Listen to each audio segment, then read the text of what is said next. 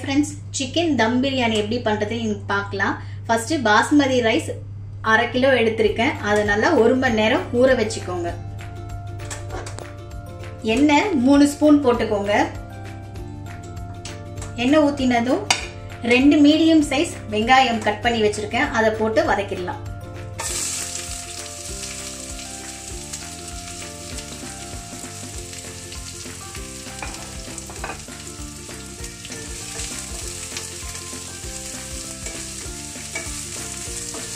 வெங்காயம் நல்லா golden brown கலரில் வர வரைக்கும் வதக்கணும்.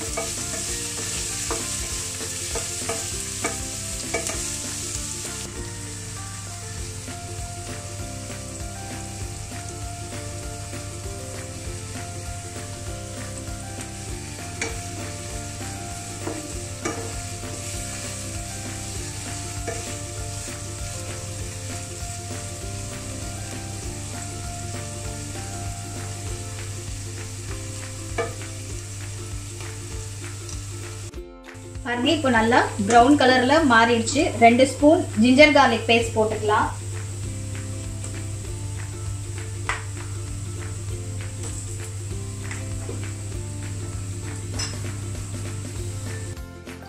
இது நல்லா பச்சை வாசனை போகிற வரைக்கும் வதக்கிக்கணும்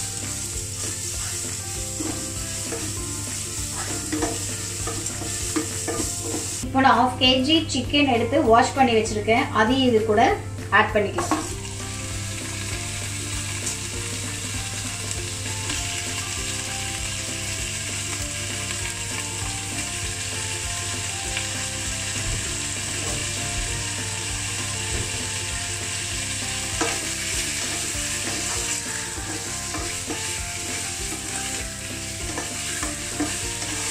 இது கூட லைட்டாக கொஞ்சம் சால்ட் போட்டுக்கோங்க.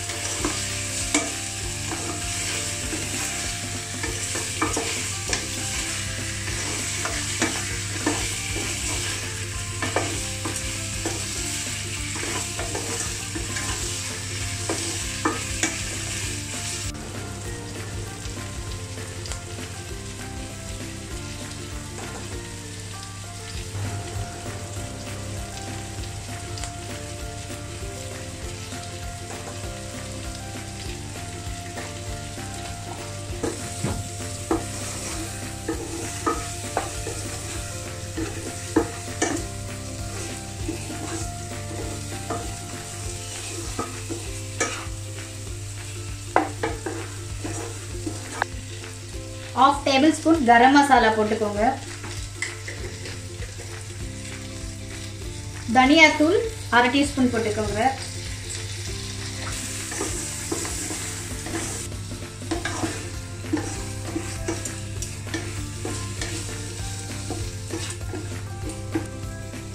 ஹாஃப் டேபிள் ஸ்பூன் ஜீரகத்தூள் போட்டுக்கோங்க. அரிஞ்சு வச்சிருந்த மீடியம் சைஸ் தக்காளி ஒன்று போட்டுக்கோங்க. நாலு பச்சை மிளகாய் கொஞ்சமா புதினா கொத்தமல்லியும் போட்டுக்கோங்க இது கூட.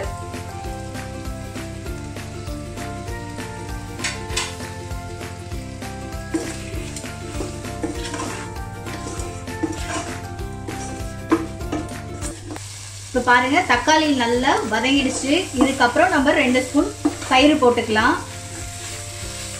அடுப்பை ஆஃப் பண்ணிவிட்டு தயிர் ஆட் பண்ணுங்க. ஏன்னா இல்லைன்னா ஒரு மாதிரி திரிஞ்ச மாதிரி ஆகிடும் நம்ம சூடோடு ஆட் பண்ணோம்னா.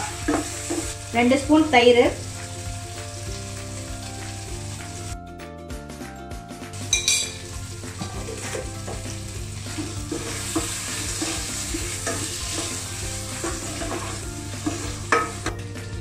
இப்போ நல்லா மிக்ஸ் பண்ணிட்டு அடுப்பை இப்போ ஆன் பண்ணிக்கோங்க.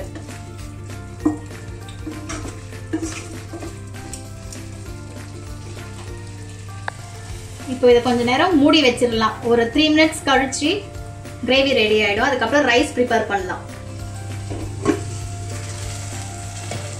சிக்கனை நல்லா நைன்டி பர்சன்டேஜ் குக் பண்ணிக்கோங்க. மீதி பத்து பர்சன்டேஜ் நம்ம ரைஸ் போடுறப்போ வெந்தால் கரெக்டாக இருக்கும்.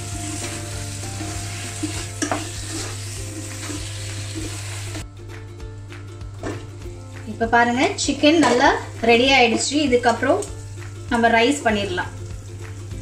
தண்ணி வச்சுக்கோங்க. சாய் ஜீரா ஆஃப் ஸ்பூன் போட்டுக்கோங்க. ஒரு பட்டை மூணு லவங்கம் ரெண்டு ஏலக்காய் போட்டுக்கோங்க. இதுல கொஞ்சம் புதினா கொத்தமல்லி போட்டுக்கோங்க.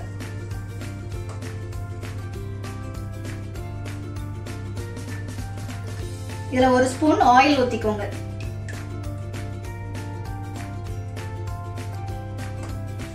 ஒரு டேபிள் ஸ்பூன் லெமன் ஜூஸ் போட்டுக்கோங்க.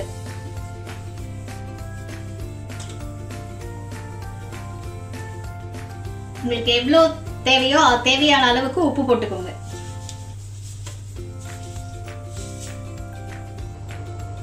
பாருங்க தண்ணி நல்லா இப்போ கொதிச்சிடுச்சு. நம்ம ஒரு மணி நேரம் ஊற வச்சிருந்த பாஸ்மதி ரைஸை இதுல ஆட் பண்ணிக்கிறோம்.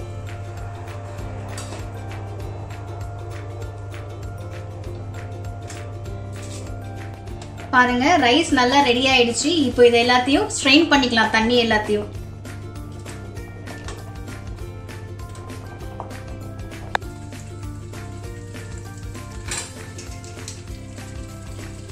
இப்போ நம்ம ரெடியான ரைஸை இதுல போட்டுடலாம்.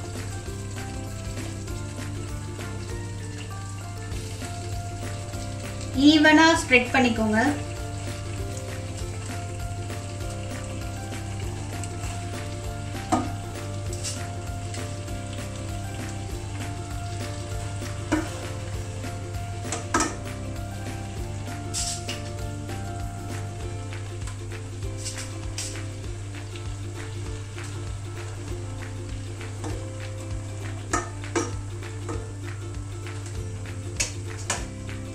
இதில் எடுத்து வச்சுருந்தே கொஞ்சம் புதினா கொத்தமல்லி போட்டுக்கோங்க. கொஞ்சம் இதில் ஃப்ரைடு ஆனியன்ஸ் போட்டுக்கோங்க.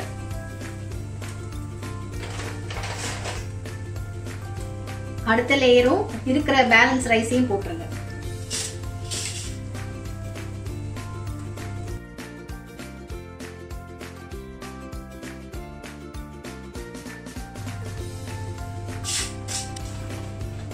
அப்புறம் பேலன்ஸ் இருக்கிற புதினா கொத்தமல்லி எல்லாத்தையும் போட்டுருங்க.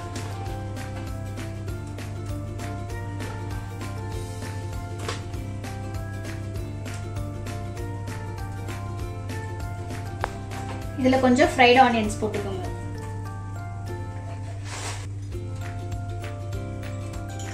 இப்போ பாருங்க நான் கொஞ்சமா குங்குமப்பூ போட்டு ரெடி பண்ணி வச்சிருக்கேன். அதையும் இதுல ஊத்திக்கோங்க.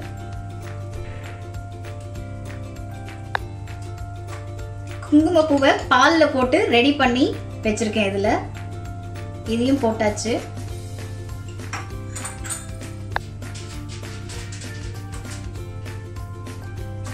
இப்போ அலுமினியம் ஃபாயில் பேப்பரை போட்டு இதை க்ளோஸ் பண்ணிக்கலாம்.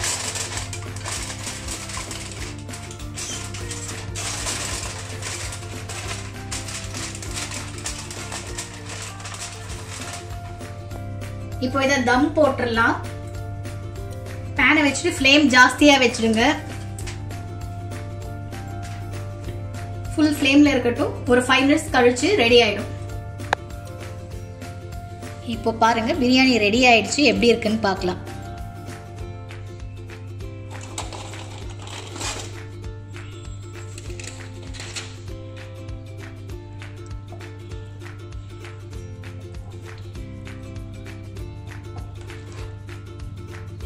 பாருங்க நல்லா சூப்பராக வெந்திருக்கு.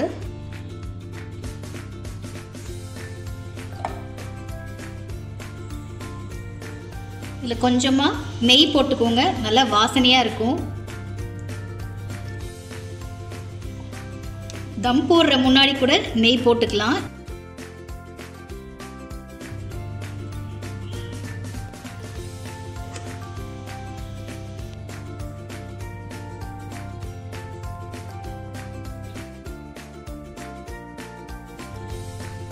ட்ரை பண்ணி பார்த்துட்டு எப்படி இருக்குன்னு கமெண்ட் பண்ணுங்கள்